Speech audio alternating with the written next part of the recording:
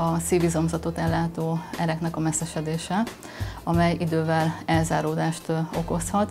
Ennek az első tünete lehet a melkosi fájdalom, és természetesen kialakulhat az infarktus is. A férfiak olyan szempontból szerencsésebb helyzetben vannak, hogy sokkal inkább a tankönyvnek megfelelő tünet sort hozzák. Hölgyeknél inkább előfordul, hogy nem a típusos tünetek fordulnak elő.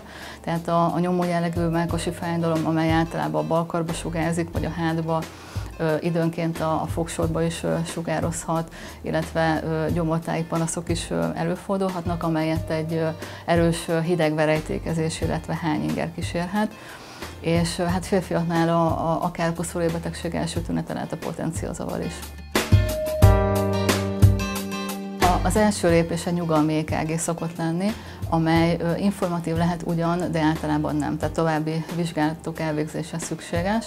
Fontos egy laborvizsgálat, abból nagyon sok rizikófaktort fel tudunk mérni, majd egy szívultrang vizsgálat követi a vizsgálatsort. A szívultrahangon látszódhatnak a korábban lezajlott infarktusoknak a következményei, de magukat a koszorúsereket nem látjuk a szívultrahanggal.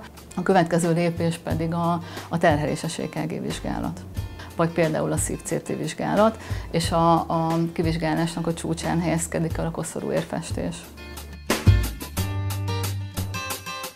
A szív-CT vizsgálat egy kontrasztanyagos speciális mákos CT vizsgálat, ami miatt fontos, hogy egy friss laborral rendelkezzem.